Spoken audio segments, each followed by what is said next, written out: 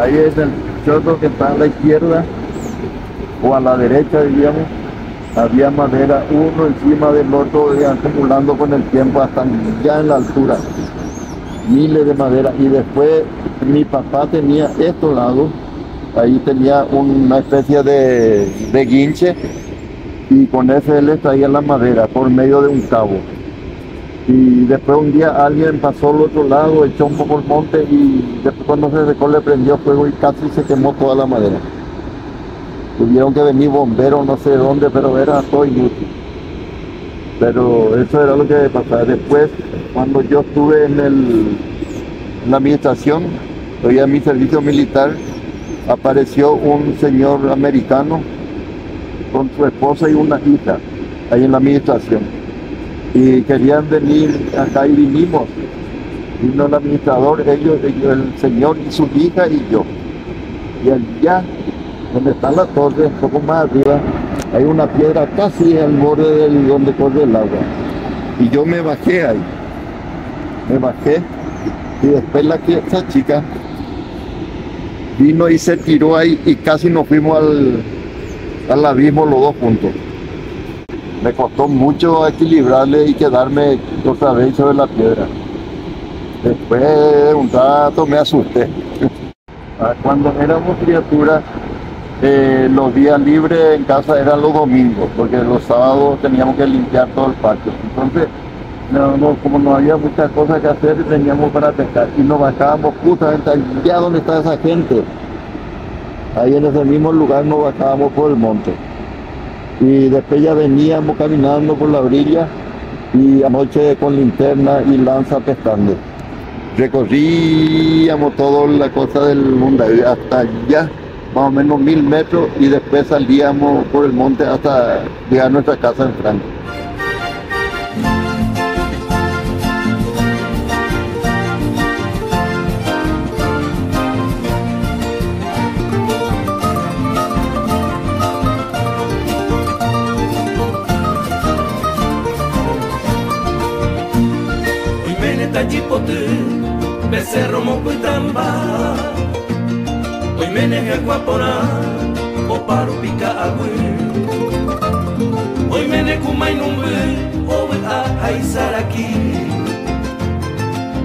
Baguira mimi, y ya ebu okuraje.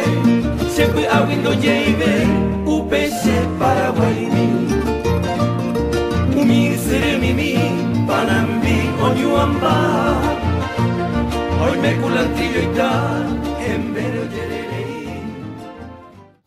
Esta es la historia de un pionero del Alto Paraná, hombre trabajador, honesto y solidario, hijo de inmigrantes europeos, nacido en Puerto Presidente Franco el 10 de noviembre de 1943, bajo un rancho de palmeras. En ese entonces eran tiempos muy duros en que el señor Walter Botry Hagen y su esposa, la señora Teresita de Jesús Noguera, se abrieron camino dando una educación sana a su familia y un apoyo constante a la comunidad.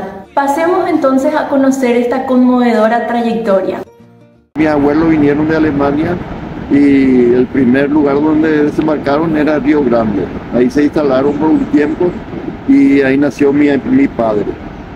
Después mi abuelo eh, falleció ahí en Río Grande y quedó mi abuela. Mi abuela y con una hija y dos hijos vinieron a Paraguay y quedaron creo que dos en Río Grande y se instalaron en Capitamesa, departamento de Itapúa. Y ahí se encontraron con. Yo nací eh, en el año 1943, noviembre el 10, en Puerto Presidente Franco. Mis padres son de origen, mi padre alemán, mi madre de origen suiza. Ella vino a los siete años de Suiza, mi padre nació en Río Grande y vino con su madre a Paraguay porque su, su marido ya había fallecido, mi abuelo, en el Brasil. Y nos radicamos en Presidente Franco, donde nos crecimos todos y éramos una familia de 14 hermanos, eran cuatro mujeres y 10 varones. Y papá era un señor muy severo, muy exigente en los trabajos. Y en la escuela ya prácticamente no nos íbamos porque debíamos trabajar todo con él.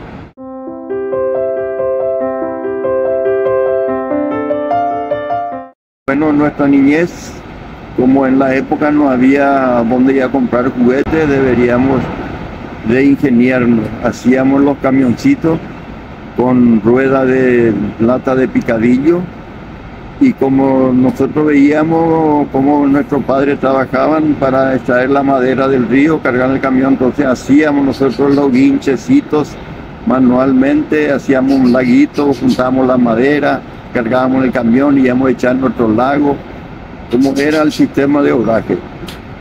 Y cuando queríamos jugar pelota, no había pelota, entonces nos ingeniamos a ir en la matadería, donde se carneaban los novillos, y traíamos la vejiga, secábamos bien, después inflamos y con eso tranquilamente jugábamos pelota.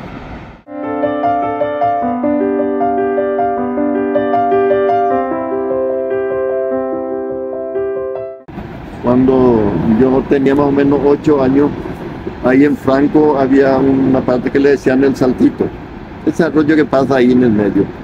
Y era un arroyo lindo, un saltito lindo. Y un día el Paraná subió mucho y cubrió el salto. Y yo me fui con los otros vecinos y de por ahí cabezudo y comenzamos a bañarnos. Yo ya sabía nadar. Me tiré en el agua y el saltito tenía como 4 o 5 metros y estaba cubierto de agua del Paraná. Me fui nadando y de repente me sentí mal, parecía y encontré así un pedazo de, de tacuara seco y por eso me atajé y salí de afuera.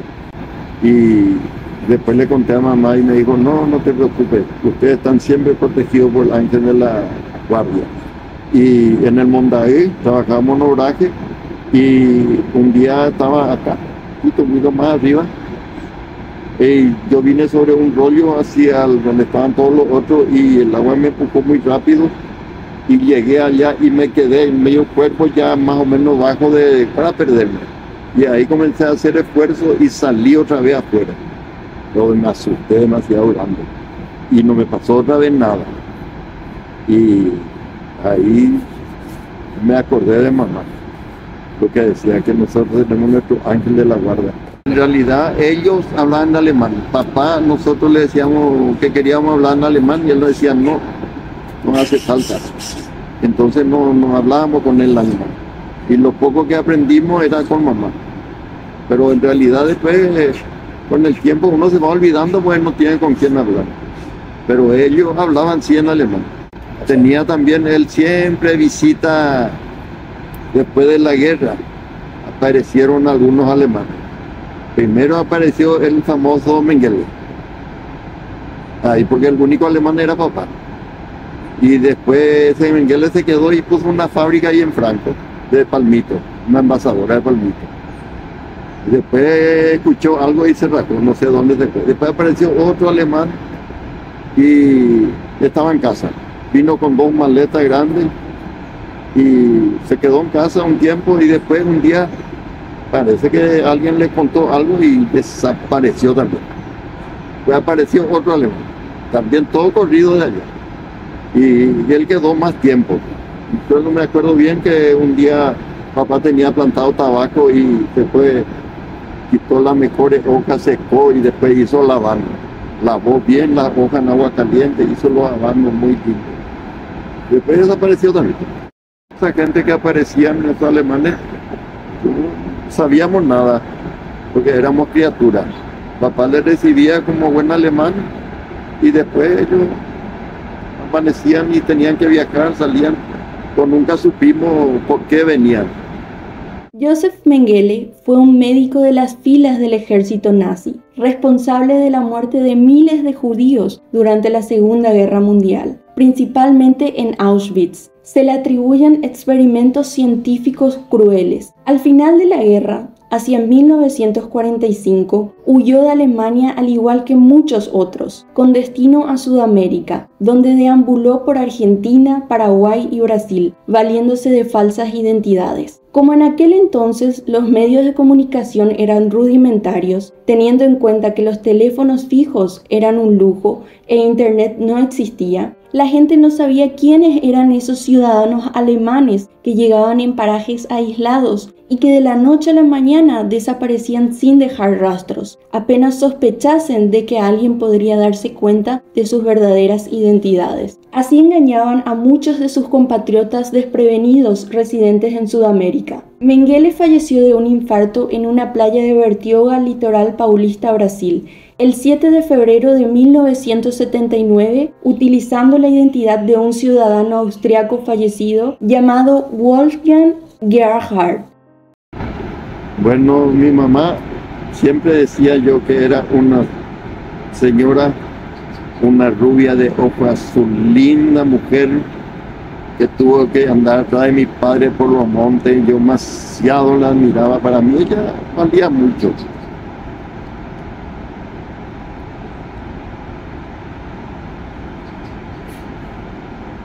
criar 14 hijos no es poca cosa. Y hacía sola ella. Yo demasiado le, amaba, le quería. Mi papá era un poco difícil, él cuando le daba un cariño a tu mamá, él decía que le está por pedir. Pero para mí ella, para mí ella era todo.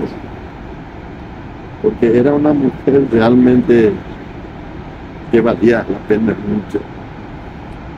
Imagínate criar casi todos los hijos en el monte, prácticamente todo en el monte. Y papá era un señor muy severo, muy exigente en los trabajos. Y en la escuela ya prácticamente no nos íbamos porque debíamos trabajar todo con él. Y un día me dice Walter, allá a 20 kilómetros de acá había un campamento de su personal. Y me dice, vas a preparar el caballo y el carrito y vas a llevar mercadería a ellos. ¿Y con quién le digo? No, no hace falta con quién, vos solo nomás. Ya tener el caballo y el carrito. En fin, cargamos la mercadería y me fui. Temprano me fui, llegué allá antes de mediodía, después descansé un rato y volví. Y sin problema. Y otra oportunidad, yo ya manejaba el camión viejo, esos Ford antes, y me dice, te vas a ir con el camión en la casa de fulano, allá en el kilómetro 8, acá de Franco y le vas a llevar esto y esto. Y le dije, ¿y con quién me voy a ir? No, no necesitas irte con nadie, solo. Agarrar el camión y va. Yo no manejaba bien, pero manejaba. El camino era bajo, era feo. Orden de orden. Me subí, me fui. Llegué, volví, gracias a Dios, muy bien. Yo estaba con 16 años, cerca de cumplir 17, y entonces le dije a mi padre, yo voy a ir a presentarme en la delegación gobierno, voy a hacer mi servicio militar. Y bueno, me dijo, entonces me fui, primero me fui a la peluquería, me quité todo el cabello y me presenté y me quedé. en la época estaba la elección gobierno en Franco, estaba eh, Mauricio Barando como delegado de gobierno y a los ocho días de estar ahí me llama el comisario y me dice, Walter, yo sé que en tu casa hay un taller mecánico. Sí, le dije, ahí hay dos metralladoras, podés llevar a ver si arreglar. Y llevé, y había un alemán, un mecánico, y arreglamos perfectamente y devolvimos. Eh, yo me presenté porque había la guerrilla que venía de la Argentina al mando del capitán Rotela y estaban invadiendo ya desde Coronel Bogado, estaban viniendo hacia acá y el, el, comentario que corría era que el general Colmán estaba encargado de cuidar la frontera.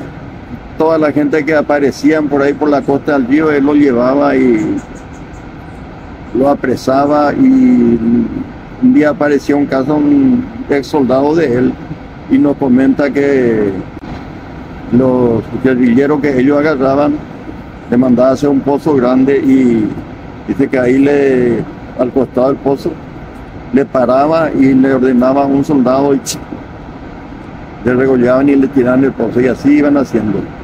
y de repente uno de los guerrilleros se le cortó la cabeza y le saltó al soldado el cuerpo y quedó medio de variado y ese apareció en casa con ese con ese cuento, con esa historia. Y así era el capitán Rotela, no perdonaba a nadie. Y se decía también que alzaban a los guerrilleros, le ataba todo con alambre, uno con el otro y chau, mentido. El general de reserva Patricio Colmán nació el 17 de marzo de 1913 en Yegros, departamento de Caazapá, y falleció el 20 de agosto de 1972 en Washington, Estados Unidos. Adquirió fama por perseguir y sofocar de manera brutal incursiones marxistas en el Paraguay en plena Guerra Fría. Un día me... yo estaba trabajando con un señor que tenía tractor y como sabía que yo estuve sin trabajo me dijo no querés ir con nosotros a trabajar y nos fuimos. Entramos en Campo 9, a la izquierda más o menos 80 kilómetros del monte, y estuvimos ahí trabajando y un día de lluvia estuvimos bajo de nuestro rancho y me dice el señor, el dueño de los tractores, mi patrón, Walter, yo quiero ir a caminar un poco y para ver dónde mañana vamos a quitar los rollos que están para que el camión pueda llevar y estuvimos, caminamos más o menos 500 metros y ahí escuchamos ruido, parecía que alguien venía corriendo en el monte, una tropa animal, algo parecido. Y me pregunta él, ¿y eso qué? Y yo me imaginé por la experiencia de que era tigre que le estaban corriendo a los jabalíes y tal cual ocurrió. Y después salimos de ahí y fuimos por otro camino y al salir en el camino ahí escuchamos ruido ya a unos cuantos metros de nosotros. Y pasó así al lado del camino y ahí yo le mostré al Señor, le dije, vamos a entrar y te voy a mostrar el rastro del tigre y del jabalí. Y ahí vimos eh, como un camino hicieron, porque eran muchos. Y en ese momento que nos le mostramos, escuchamos el aullido del tigre, bien detrás de nosotros. Así que eso que te hacía piel de gallina. Entonces salimos ahí rápido y arribamos un poco, entramos a la derecha y él le vio al tigre peleando con el jabalí. Y sacó su arma y le disparó seis tiros y uno por retiro. En ese instante el tigre dejó su presa y vino sobre nosotros, pero en pocos metros. Y yo tenía mi pistola, suerte que tenía mi pistola cargado en la mano, empuñado. Y ahí le disparé ya ahí viendo cerca de mí. Tres tiros. Uno creo que le erré, pero dos le acerté. Uno le atravesó acá el corazón eso y el otro le rompió la nuca y ahí se cayó encima del pie del Señor. Y un día le dice mi madre a mi padre, yo quiero mudarme de acá si es que se puede conseguir una propiedad de otra parte porque me están robando mi gallina, la gente, los vecinos y las chacras entran, llevan todas las frutas, la mandioca, la sandía, todo lo que hay. Y entonces mi papá resolvió ir a buscar en Mingaguazú, en la altura del kilómetro 22, consiguió una propiedad y compró. Y casualmente en Santa Rosa Misiones llegó el ministro del Interior, el general de división de la tercera división, el obispo de San Juan Misiones y se fueron a visitarle al señor Anastasio Noguera y encontraron que tenían grandes plantaciones de uva donde hacía los mejores vinos tenía plantación de olivo que también ya hacía aceite y se encantaron con él y le ofrecieron venir a Mingaguazú a poner un vivero de plantas para los colonos recién llegados, porque Mingaguazú estaba comenzando. Y después de conversación y conversación, aceptó y vino y se hizo de casa casualmente enfrente de la propiedad que compró papá. Y en ese medio yo le dije un día a mi padre, yo me voy a Asunción a quitarme mi documento de identidad.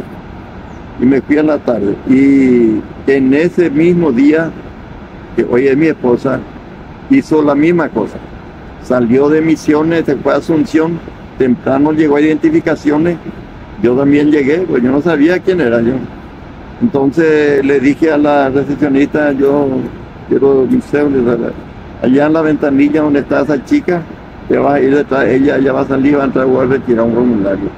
Cuando ella salió de la ventanilla, yo le miré y suspiré grande y dije, Dios mío, pero qué linda mujer, ¿cómo quiero para mi esposa? Alguien dijo amén. Y en fin, así terminó. Después de un largo año, creo que uno o dos años, mi, el señor Noguera ya tenía con todas sus plantaciones para formar su vivero y le trajo a la hija. Y yo estuve haciendo la casa ahí también donde compró papá con mi tío porque íbamos a mudarnos. Y de la altura del techo he visto al otro lado una chica.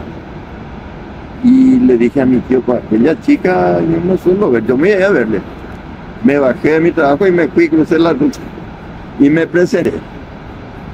Y bueno, en fin, hablamos un poco y después terminó ahí, pero después me contó ella, después de que ya no conocíamos, que un día se fue a visitarle a un vidente con unas amigas y le dijo, le miró la mano, le dijo, usted va a viajar, le dijo, antes de venir.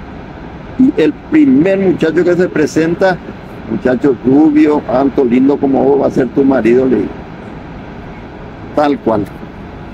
Nací en Santa Rosa Misiones, en el distrito de San Rafael, el 25 de septiembre de 1943. Mis antepasados vinieron de Corrientes, un extranjero de apellido Bertúa, quien tuvo familia con mi abuela. Mi abuela se llamaba Concepción. Después vinieron mis abuelos, eh, mi abuelo, Crisóstomo Noguera. Mis padres, Anastasio Noguera y Beatricia Flores de Noguera, directora de un colegio. Mi abuelo era juez de paz. Viajamos con mi papá a Encarnación, donde ya había tenido todas las plantas para injertar, para presidente Stromer, para la colonia. Y ahí yo vine con el ministro del Interior que fue a buscarnos con, con el avión. Trajimos bien la tan de plantas y nos recibió el señor administrador eh, Noel Lefebvre, quien nos condujo hasta nuestra casa en el kilómetro 22 para hacer el vivero de planta a mi papá que tenía que distribuir a todos los colonos. Injertaba y distribuía a los colonos. Dejamos una granja muy linda en Santa Rosa donde fue a conocer el Monseñor Rojas, el general Ibáñez Rojas, el obispo Bogarín y fueron a visitarnos y le conoció a mi papá, se encantaron y hasta que le trajeron. Abandonamos nuestra granja.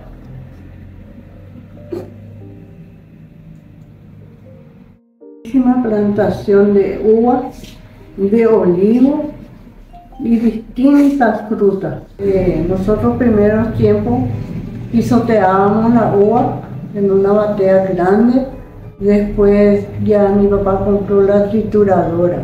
Ya cargábamos en ese, triturábamos y ahí ya fermentaba. Y después de 40 días hacíamos el transbordo en pileta de, 2000 litros. Ahí cargábamos. Que yo me emborraché.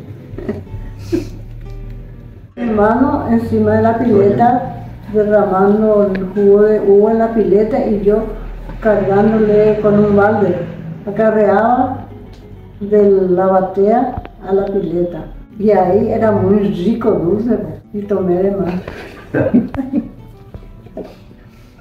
y era de un tiempo no tomé más. Ahora ya otra vez.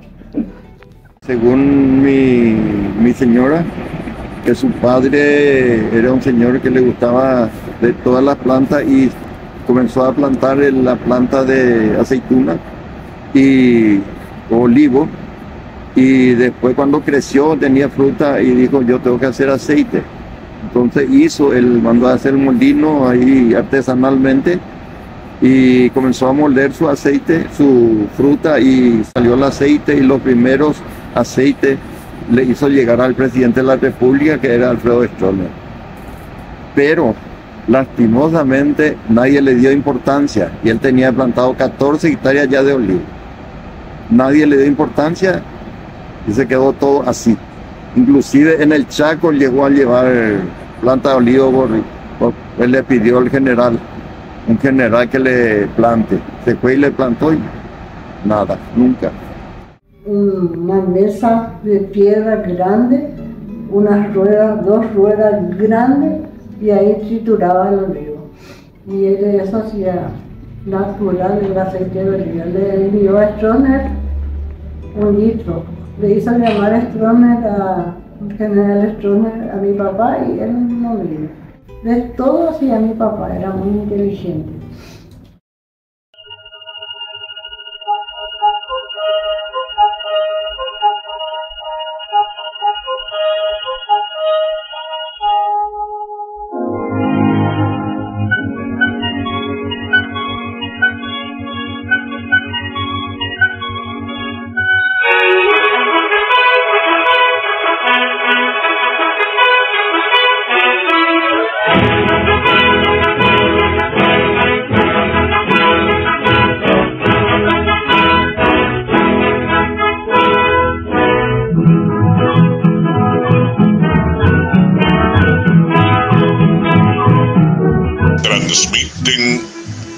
Subsecretaría de Informaciones y Cultura de la Presidencia de la República a través de Radio Nacional y la cadena paraguaya de radiodifusión.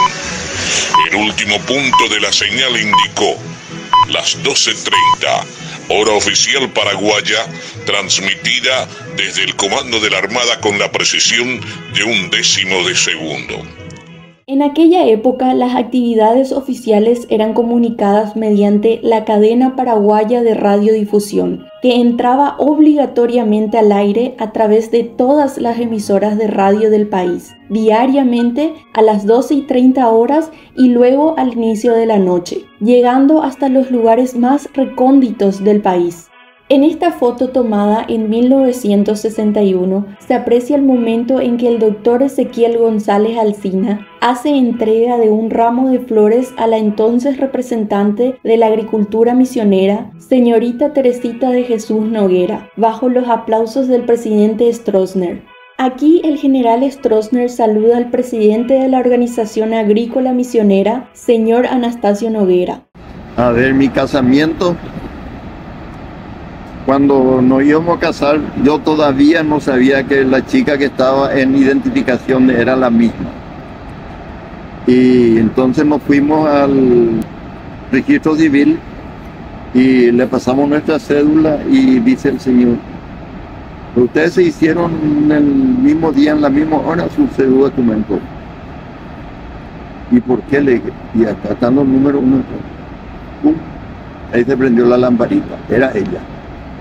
Y bueno, en fin, programamos todo el casamiento y en el casamiento ella se fue, había dos kilómetros de la casa de ella hasta la iglesia y ella se fue con el auto de mi padrino y a mí me prepararon un carrito de esos japonés, carrito con su motorcito, todo con flores.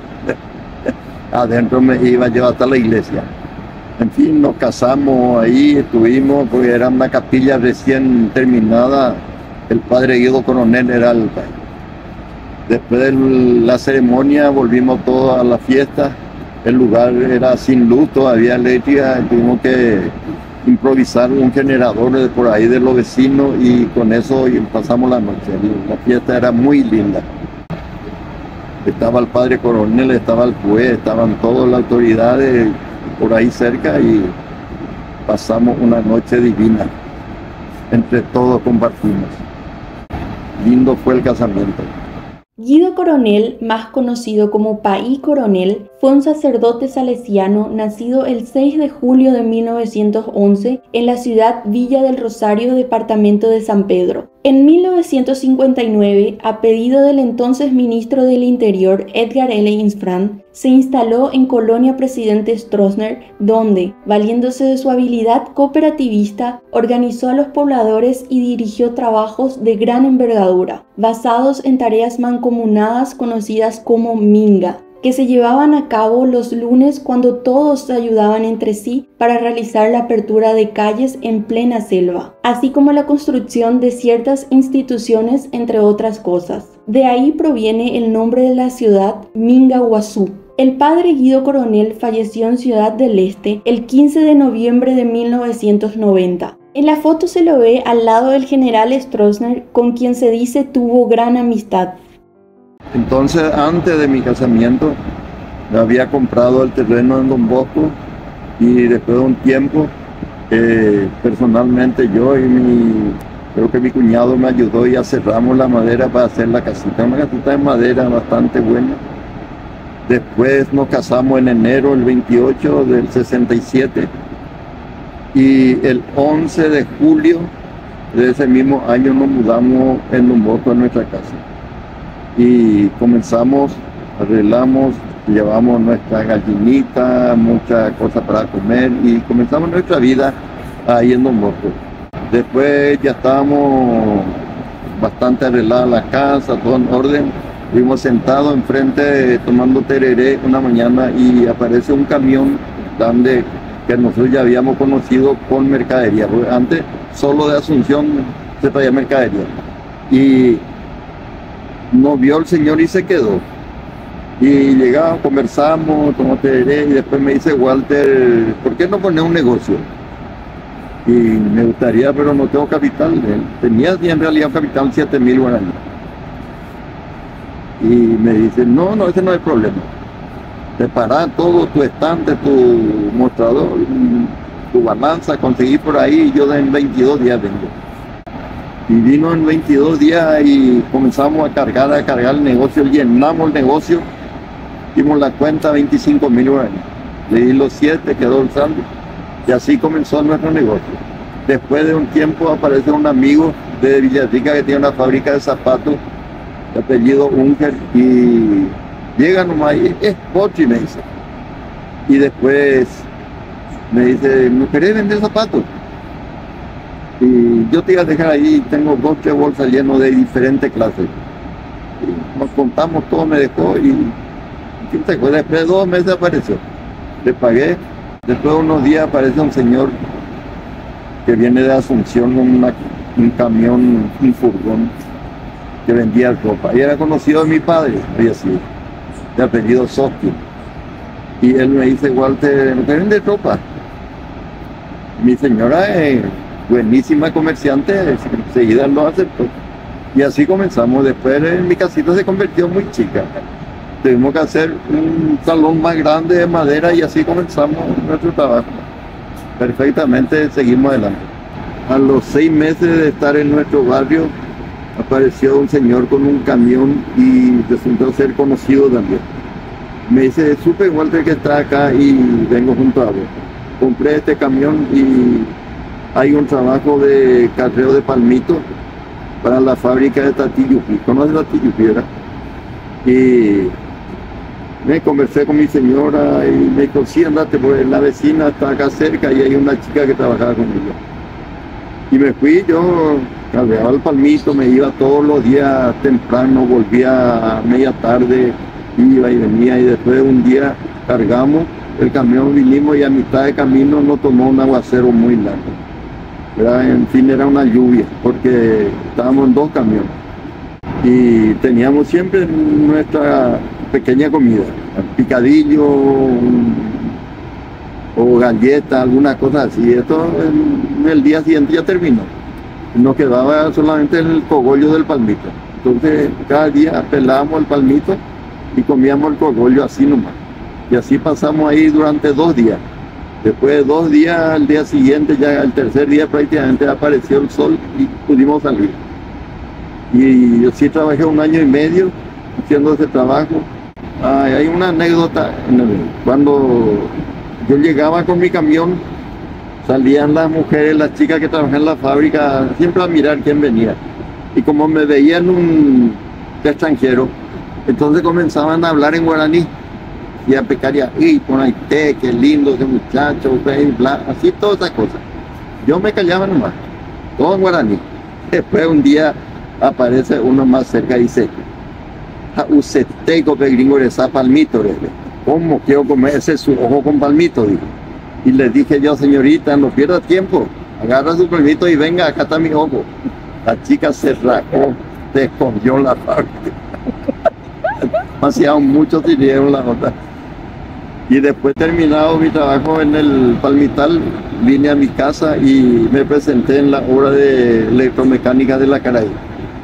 Y enseguida me tomó el ingeniero a trabajar, trabajé como chofer, después como, era comodín a todos los lugares. Después, última hora ya faltaba personal para la parte de terminación de la instalación de las turbinas. Y entonces me fui a trabajar ahí con ellos. Después un día de tardecita llama el que estaba abajo en la, porque está en el fondo, no sé si conocer, donde está la cara y la maquinaria. Ahí él llama y dice se está inundando. Y vimos todo en entonces corrimos en un galpón que era de la empresa que hacía la parte civil y para llevar una bomba de agua grande. Y por ahí me lastimé, me fisuré una costilla y en fin trabajamos toda la noche, desaguamos todo y se arregló la parte de la compuerta y terminó ahí el trabajo de desagüe. Después continuamos trabajando hasta terminar la obra. Trabajando en la parte electromecánica de Caraí, cuando ya dije que había poco personal, entonces me necesitaban abajo y nos bajamos donde estaban las turbinas y de conté que ya había inundación también.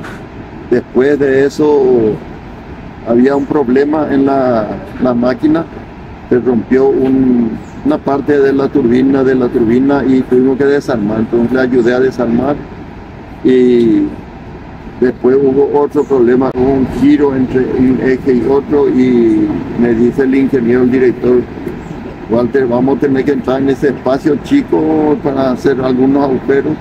Mandó traer de Italia un especial para poder agujeros así y poner los pernos. Y ahí estuve trabajando con ellos hasta terminar la obra. Después de terminar, se retiraron todos ellos y quedamos nosotros entre tres personal y liquidamos todo, se echó todas las casas viejas, se limpió todo y terminó mi trabajo ahí. La central hidroeléctrica Caraí, localizada en el Alto Paraná, sobre el río Acaraí, fue la primera en el Paraguay, construida entre los años 1961 y 1969. Contó con el apoyo del Brasil. Bueno, nosotros llegamos en julio del 67 y mi primer hijo nació en noviembre, el 28 de noviembre, y después a los años nació esta chica después un varón más otro varón. Estábamos cuatro, tenían cuatro hijos. Cuando el primer hijo nació, tenía casi todo un año, me dice mi señora un día, parece que mi hijo está enfermo, tiene bronquitis. Y entonces, como no había médico en Ciudad, en Presidente Stoner, tuvimos que acudir a Mingaguazú, donde a veces venía un doctor en fin, conseguí ahí con un señor con un jeep viejo que tenía y nos fuimos. Ya a la tardecita de Mingaguazú, justo le encontramos al médico y me recetó los remedios, pero inyectables. Y como ahí no había para comprar y no había quien iba a aplicar, entonces nos fuimos a la farmacia en Presidente Toner. Había una farmacia, se llamaba Caray. Y había un farmacéutico, le di mi receta, me dio todos los remedios y le dije, yo le voy a aplicar, bueno, esto, y entonces me enseñó más o menos, porque antes no había desechable, todo era con jeringa de vidrio y hay que esterilizar. La, verdad es que vine en casa, preparé yo todo y le dije a mi señora, venía a ayudarme, le voy a aplicar a mi hijo la inyección. No tengo miedo, no quiero ver, entonces le, le apliqué yo. Le acosté boca abajo sobre mi cuarto, con este le atajé la pierna y le puse amaneció bien. A la tarde le apliqué otra vez y se sanó. Y le contó mi señora delante a un vecino que así, así ocurrió. La tarde ya apareció un, un yo sé que vos sabés aplicar inyección, quiero que me ponga este. La muscular ya le puse. Después aparece otro y después me dice un señor, un balde se con a siete, haceme el favor y si eh, puede irte a aplicarme. Sí, no hay problema, ya me iba. Después otro y más otro Y así andaba, aplicando. Y después ya trabajábamos bien, pude comprar un vehículo, compré el vehículo y ya, don Walter, mi señora está muy grave, puede llevarme en el doctor si no hay problema. Después vine con Walter, mi señora está por tener hijo y no va a poder, parece, pues ya sí, no hay problema. Iba, le llevaba al doctor, pues me dice uno, don Walter, vos sabés que tengo que llevarle a mi hija en Coronel Oviedo. ¿Me puede llevar? Sí, le llevé un ratito, nunca le cobré a nadie nada. Y así andaba yo. Después había alguien, un asesinato ahí, murió el tipo, hay que llevarle al 16 al cementerio, don Walter, don Walter otra vez. Y así pasó el tiempo, todo don Walter. Muchos favores le hice a la gente. El primer aserradero instalamos en el kilómetro 20 en a 4 kilómetros de la ruta. Eh, era una pequeña circular y como no teníamos medio combustible teníamos que llevar todo a nuestra espalda, todos esos 4 kilómetros. Y después de un tiempo me dice mi cuñado, mi suegro tiene un aserradero que trabaja a vapor, lindo, que trabaja más rápido. Vamos a alquilar y alquilamos de él del Señor. Y comenzamos a trabajar ahí día y noche porque había mucho pedido y la madera que teníamos que cerrar teníamos que ir temprano con una yunta de hueca, uno y un carro alto, porque traíamos debajo del carro la madera. Y nos íbamos, echábamos con hacha, preparábamos todo y metíamos debajo del carro. Todo era...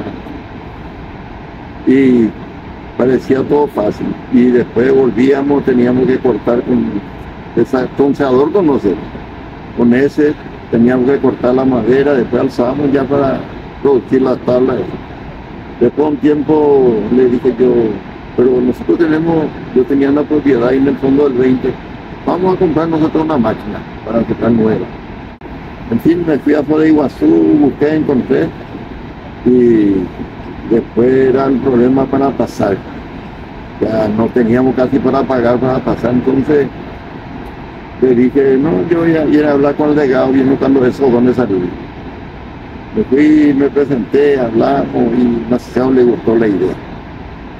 Enseguida le ordenó a la aduana y pasamos. instalamos, trabajamos bien, mucho tiempo después ya mi negocio iba andando muy bien y le dejé a ellos y me quedé yo en mi negocio con mi señora. Cuando me, fui la segunda vez a verle al señor delegado de gobierno, al señor Antonio Zarubí, había mucha gente en la espera para hablar con él. Y llegó el secretario y me anunció. Y enseguida me llamó el delegado. Y le dije yo, gracias señor delegado, pero hay mucha gente que está en la... Walter, esa gente vienen para pedir para que yo arregle su problema con su señora o con su marido, o que se peleó con el vecino. Eso a mí no me gusta. Yo sé que vos venís para hablar de trabajo y eso a mí me gusta. Por eso te quise llamar. El teniente coronel Antonio O'Donnell Arguy fue durante muchos años delegado de gobierno en el Alto Paraná en épocas de Alfredo Stroessner. En aquellos tiempos, dicho cargo era el que actualmente es el de gobernador,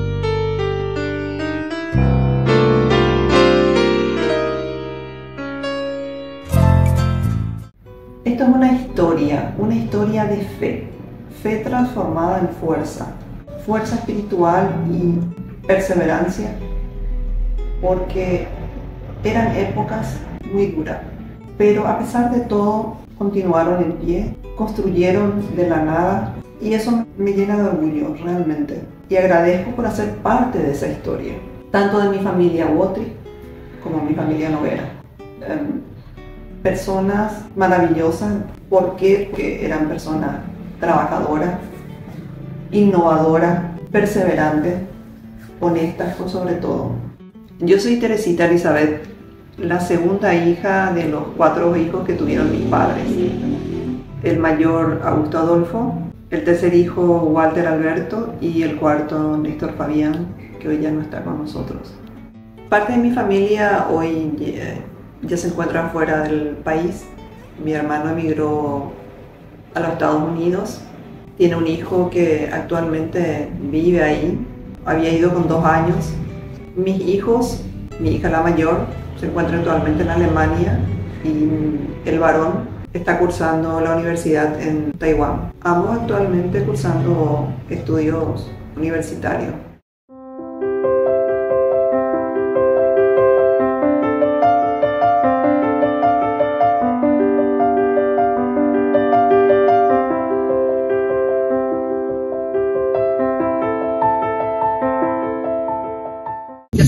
La gente de Walter. Hoy voy a compartir con ustedes un poquito de lo que yo sé de la historia de ellos, para que conozcan más. Ellos una hermosa historia de amor, una historia de vida. Son personas súper trabajadoras, seres humanos increíbles, que admiro un montón y súper orgullosa de ellos. Desde chiquito mi abuelo trabajó mucho, se sacrificó un montón, iba al bosque a trabajar con su papá y sus hermanos para juntar palmitos y después se conocieron con mi abuela, con eran jovencitos, estaban juntos. Eh, construyeron todos juntos, desde la casa, el negocio y hasta hoy día no se separan. Es algo muy difícil de encontrar hoy en día compartir con ustedes un poco de dónde vivo, empezando por la uni, donde estoy estudiando negocios internacionales enfocados en el mundo de los vinos. Aquí les muestro el predio más antiguo de la uni, que fue fundada en el año 1870 como la Escuela Real Prusiana de Frutas y Viticultura. Coincidentemente, mis antepasados de parte de mi abuelo vienen del reino de Prusia, de ahí vienen eh, los Gotrich. El reino de Prusia estuvo entre, entre el final de la Edad Media hasta el final de la Guerra Mundial, de la Segunda Guerra Mundial. Bueno, esto es súper lindo, mucho verde, jardín bien amplio. Esta es la bodega de mi uni, aquí donde ellos producen los vinos de la universidad y aquí ya empiezan los viñedos en la parte de atrás. Esta es una región muy importante de viñedos de Alemania. Se llama Rheingau. Está situada en la región de Hessen. Estos viñedos que ven ahí son de Riesling, porque aquí se concentra 80% de producción de Riesling, de las variedades más importantes de Alemania.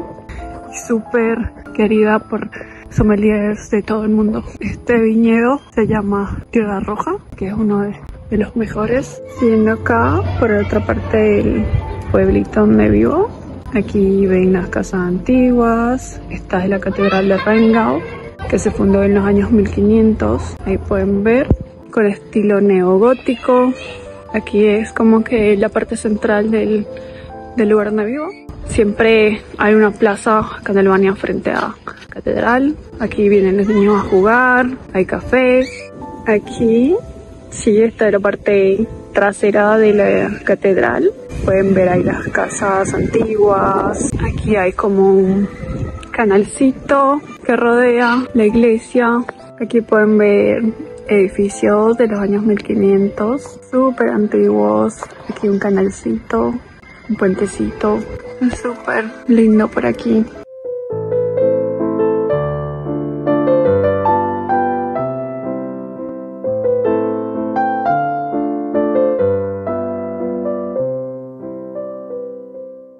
Mi nombre es Walter Wotrich, posición en la familia nieto, 24 eh, años, actualmente residiendo en la ciudad de Tainan, Taiwán, intentando culminar mis estudios universitarios aquí.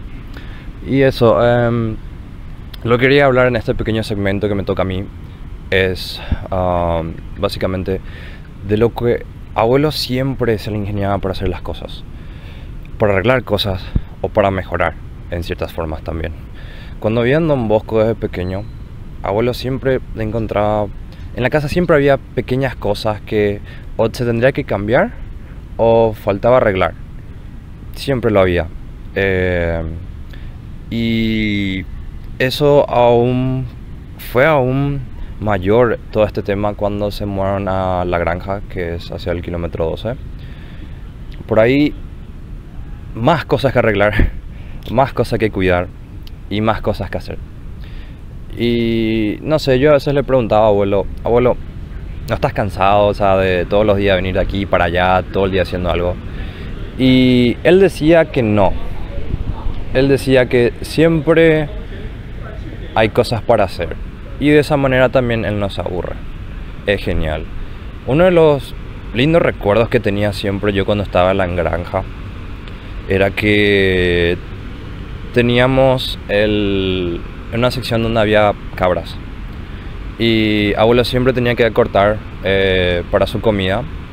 Y yo siempre le ayudaba con eso. Eran las hojas ah, de la mandioca, si no me equivoco. Las ramitas y las hojas de la mandioca, los tallos. Y siempre cortábamos mucho para después llevar toda una carretilla hasta el lugar donde están las cabras. Y alimentar con eso con abuelo siempre era un lindo recuerdo para hacer. Lo mismo, él siempre arreglaba el lugar donde estaban también los conejos porque siempre se escapaban. Era todo un tema. Después de eso, cuando volvieron de nuevo a, la casa en Don Bosco, la casa como que ya se notaba sus años y también otra vez muchas cosas que arreglar, muchas cosas que hacer.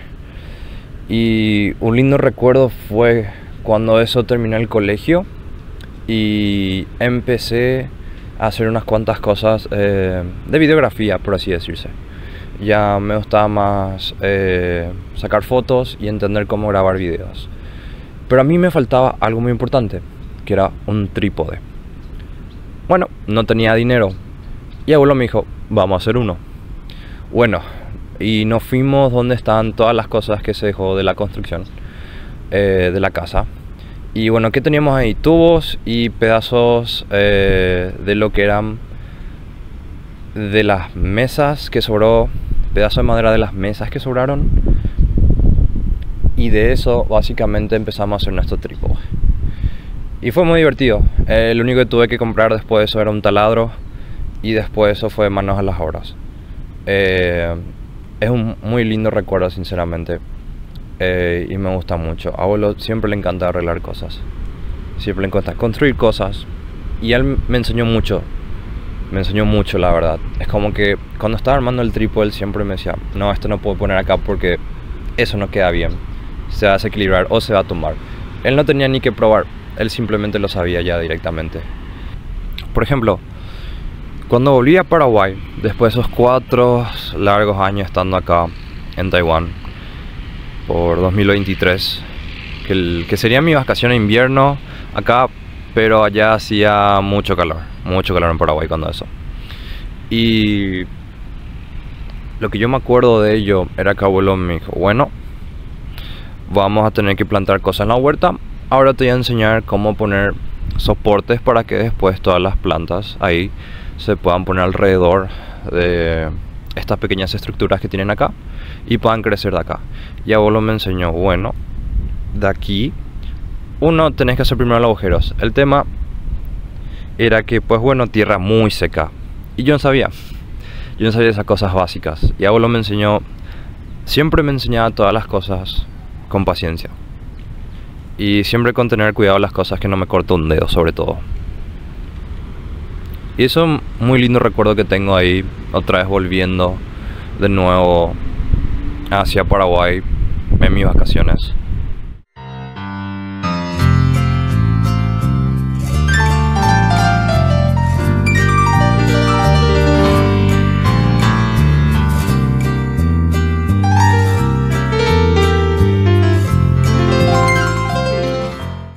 Teresita Kiminetti, el papá de, Alicia te habla, te saluda.